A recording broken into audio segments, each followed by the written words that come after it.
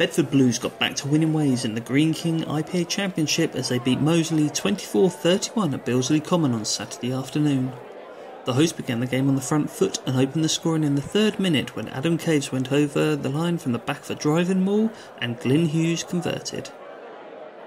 Bedford replied with a well worked try of their own, which saw George Perkins coming off his wing to create an overlap, which was exploited by Ollie Dodge before the centre passed the ball inside to the supporting Mike Howard, who went over in the corner for an unconverted try.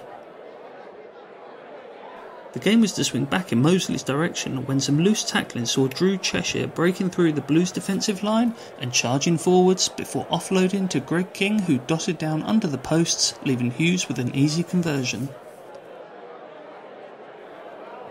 Bedford then went on the attack from the restart and duly crossed the whitewash for their second try of the afternoon.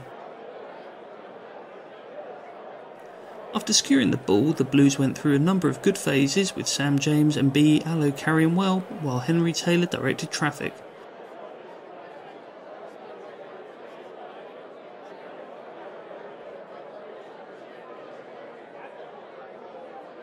With the ball spread towards the left wing, Nick Fenton Wells showed a good turn of pace before popping the ball to Perkins, who ran in under the posts, with Myles Dorrian adding the extras to make it 14 12 at the interval.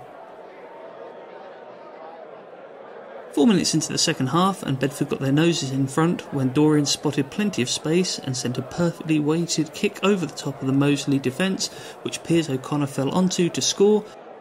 the Blues soon had the try bonus point in the bag following a good turnover in the ruck, which allowed Michael Le Bourgeois to break, send the defence the wrong way, and then turn the ball inside to O'Conor, who went over for his second in quick succession, and Myles Dorrian's conversion gave Bedford a 10 point lead.